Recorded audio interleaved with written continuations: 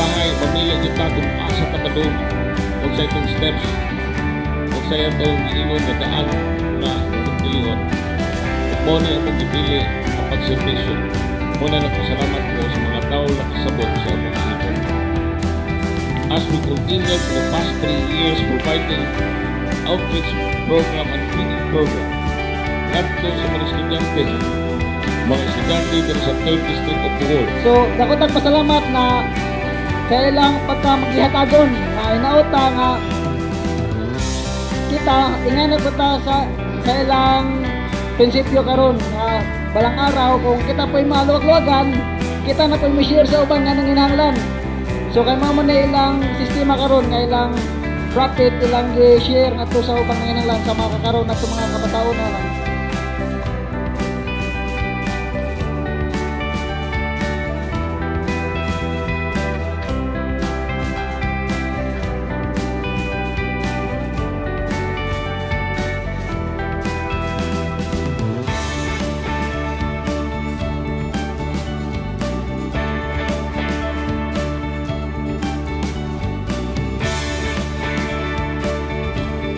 do unto others what you want others do unto you. This is what we believe. Kano nang hatag mi? Kining among gihatag blessings. In the principles sa law of eco because we serve blessings, unsa may mubalik sa mga naghatag. Answer. Mao na ikaw, Ma'am Tina Palma, pilok-pilok na pabor panalangin, Boss John Linya, Boss Ligaya, and our givers, pilok-pilok na panalangin, bubanda, that is called law of eco. Pagsugod na mo dire sa among outlet sa feeding program. Pagsugod ka niya at our own, no? Kana bang wala kang silito lapit pa. Up to date, ano ba? Bukod sa bulsa para sa mga kaupan. But, ang sikreto magkatigo na lang, di anong magic eh. Magic itself is, niluod ka na na ay nagpupangayo kaso, ay nagpupangayo tayo kung sa ihatag. Kayaan mo ng ginoo kung kasbot, ano ba ginawa to? Diba? Our personal experiences, the more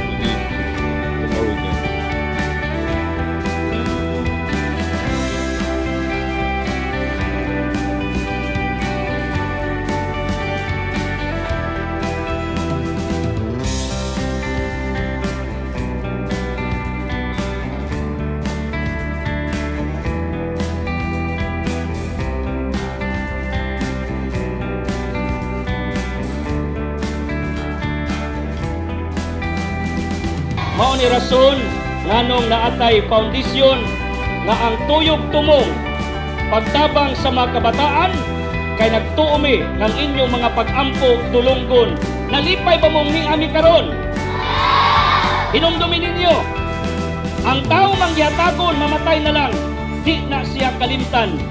Ngano tungod kay ang imo maayong binuhatan magpabili na sa kasing-kasing sa uban pero maghinakok ta, way malimot, way mulingi, way musabat. Am I right?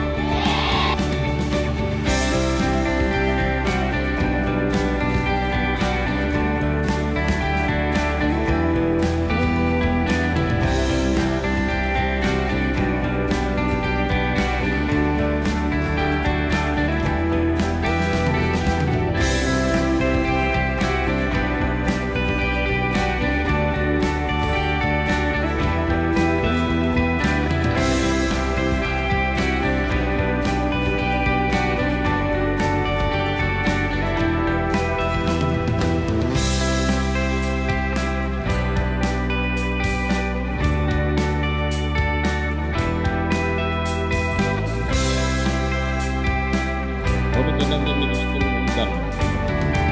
Hindi gustong mag-undan whatever happens. Because, dahil sa kagyan, nga mo na kuha na diploman, mas, mas malipay ka rin. Di ba? In our life, nagkakaroon ka choice malipay ba? But sometimes, ang malipay, hindi mo ma parang doon sa kabuthan ba? Sa different things. Matthew chapter 19, Jesus said, Ang mga bata para kanako kung para sa akong ginarian. Meaning, kung ang mga bata happy, happy sad ang Dios. Am? Ug sanglit ang mga bata mo may pinakaduol sa kasing-kasing Ginoo.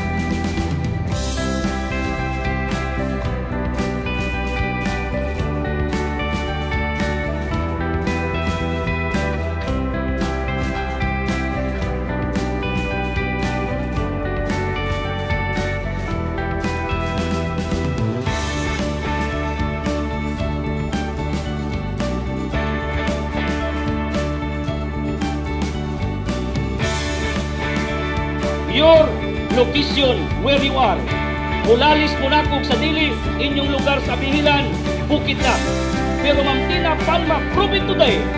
Successful siya siyang career in Manila o nang bitulit siya. Ingnon sa muna mo, we're striving hard to become successful in life. Ingnon ta mo, poverty is not a hindrance to success or to succeed in life. In other words, geographical location is not a barrier, is not a gap in order for you to become successful in life. People, taga-bihinan, kaming Boss Jun Dinier, taga-bukid mi. Ni Arimi, uingon ninyo, dako mo chance na mo asinso. Jeremiah 29:11 God wants you to prosper in life.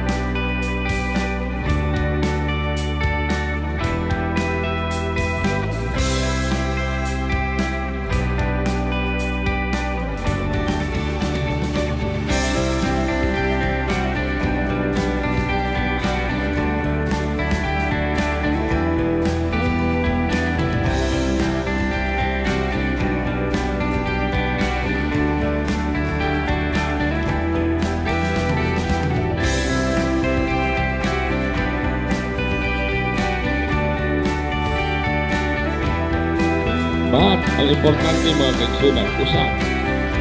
Kani mga estudyante, one day, maabot silang panahon nga dunay mosulod sa atong himo karon. Just imagine injecting an idea gikan sa pagka-elementary pa nga pag-abot sa ilang panahon di na sila maging hakong kadto sila mga igsuon di na siya hakog sa mga katawhan sabot na sila. Na dunay isa ka grupo na kauban si Brother Incel once sa panatay ilang na, na nasulayan o na experience